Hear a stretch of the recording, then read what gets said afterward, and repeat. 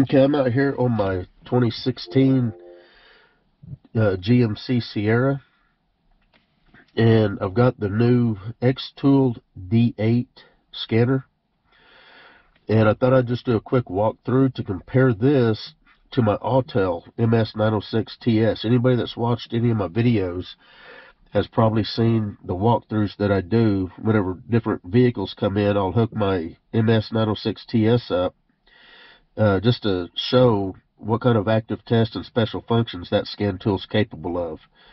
Uh, that way, if you're looking for a scan tool, you can kind of get an idea of what kind of things you can expect out of it. Well, this scan tool is is half the price of the Autel. It is a corded scan tool, so it is you are tethered by about a five foot cord uh, to the OBD uh, port. So uh, I'm just going to do a quick walkthrough, just a, a, a, real quick familiarization with this scan tool hooked to a 2016 GMC Sierra pickup. Uh, this is a four-wheel drive, and I'll go through both the different ways that you do a, a, de to detect the vehicle.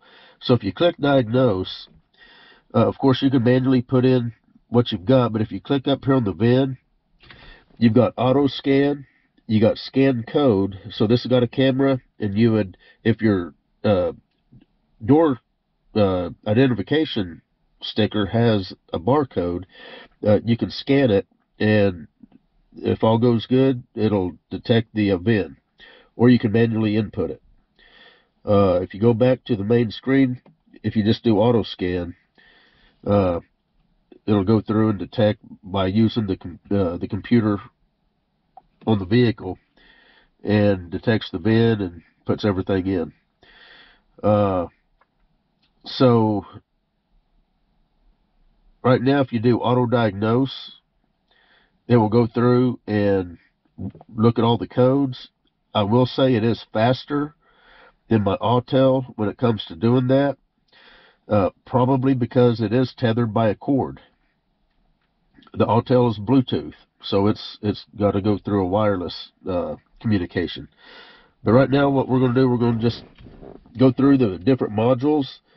Uh, these are all the different modules, and all I'm going to do, I'm going to quickly click on one.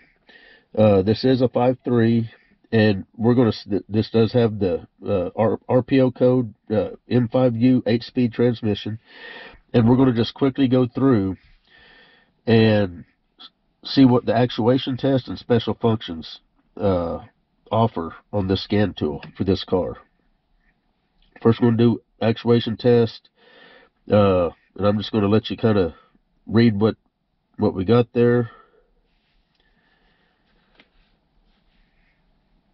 And I'll put a link up in the right hand corner of the screen to the MS906 walkthrough on this truck so you can kind of compare, you know, what you're seeing here and compared to what the Autel has.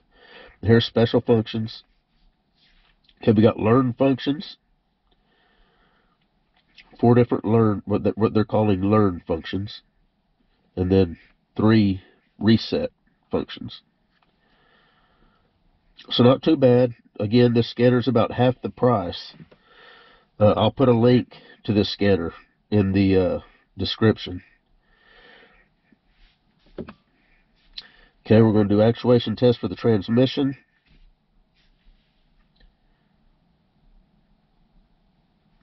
Then special functions. Does offer the service fast learn option. Body control module. Actuation test.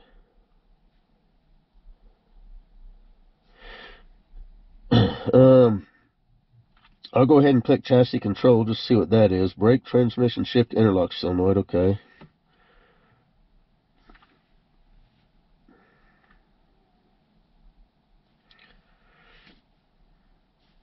Anyway, that's actuation test. We'll do special functions. You can uh, add, replace key fobs.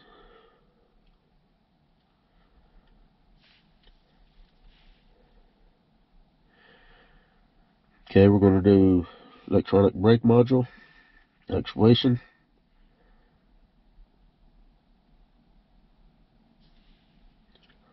Special functions. HVAC control module. Now this does have the dual zone. And we're going to do actuation test.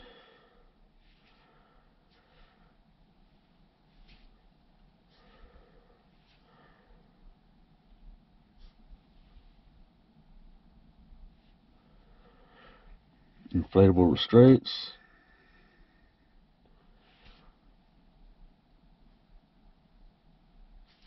Actuation.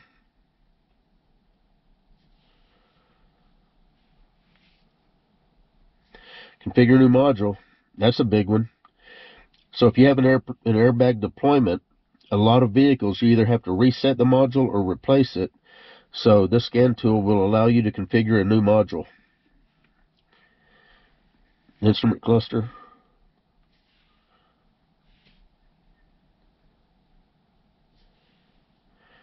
No special functions under instrument cluster. Uh, I shouldn't have clicked that. This this is not a hybrid, so it is not going to have the uh, power train control module for a hybrid. But let's see if it if it was a hybrid. Let's see if it will actually give a list. Okay. So if this was a hybrid, under actuation test, you've got some some tests there. See what special functions has. Reset functions.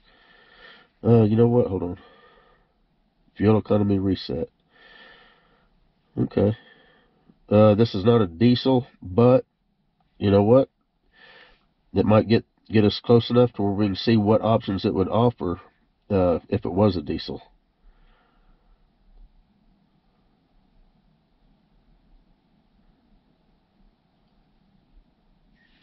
Actuation. Okay, special functions, injector flow rate programming. Uh, doesn't have a power takeoff, but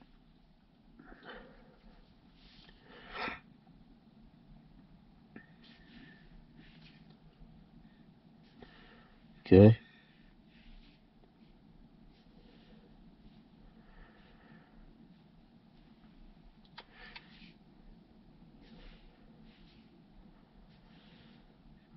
This is under telematics, a communication interface.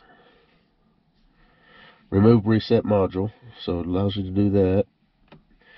Uh, this is another hybrid powertrain control module. Probably similar, similar things that the other one's got, I would imagine.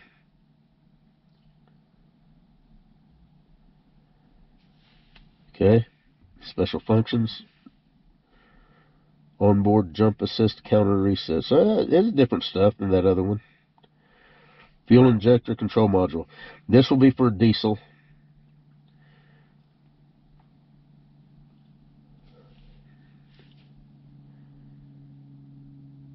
Natural gas, it looks like, CNG.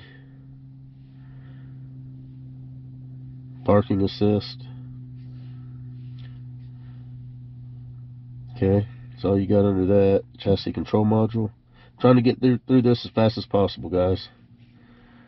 Trailer brake. Passenger presence module.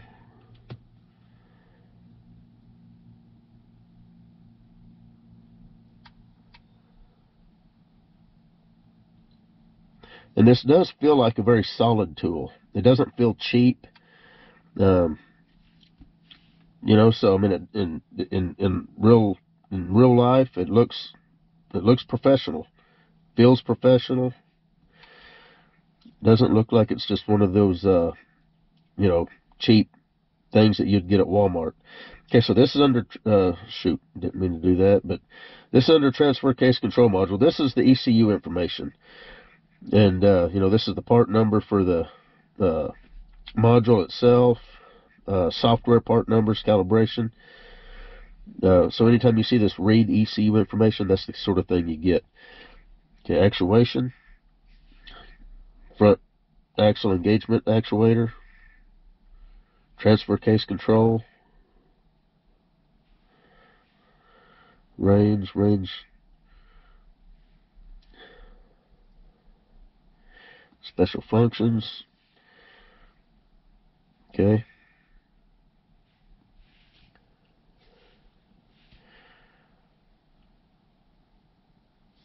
So it's got some pretty good diagnostic capability. Really, for the price, I just don't think you're going to get much much better than this.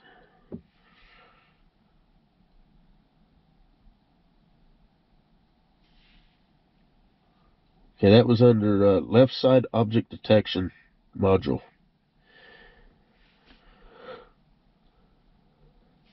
Okay, this is under seat memory. So under seat memory, you're going to have those options. The seat control module also controls the mirror memory. And I have driven my mirrors with, with this tool. I've, I've folded the mirror and I've driven the individual mirror up and down and uh, left and right. So this tool does indeed send the command necessary to, you know, control what it says it should control. Uh, so all this, this is the distance sensing cruise control, which this truck does not have. They didn't offer that actually this year for this truck. But if, if a car did have it, uh, then this is what you would have.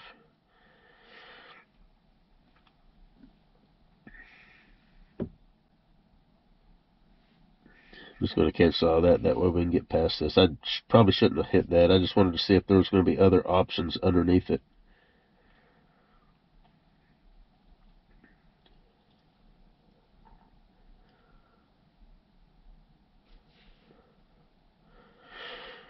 Power steering control module. This got electric power steering.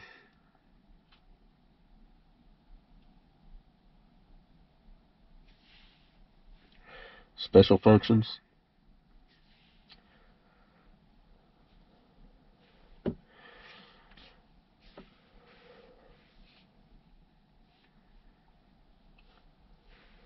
Suspension.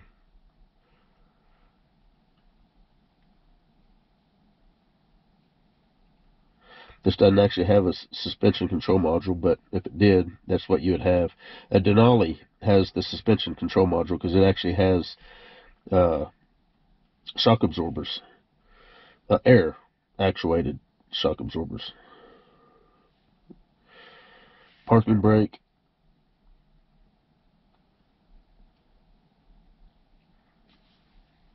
Which this vehicle does not have a uh, parking brake control module.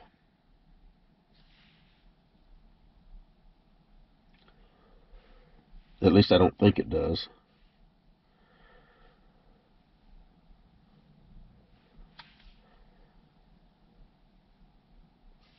Okay, that was amplifier. Nothing really to see there. Uh, now, there was an option to have power running boards, which is what this is. This is the assist step control module. So you could actuate the left and the right steps if it if it had it. Human machine interface control module.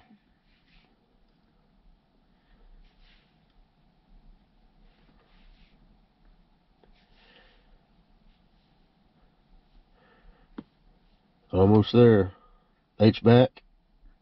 Remember, there was another HVAC uh,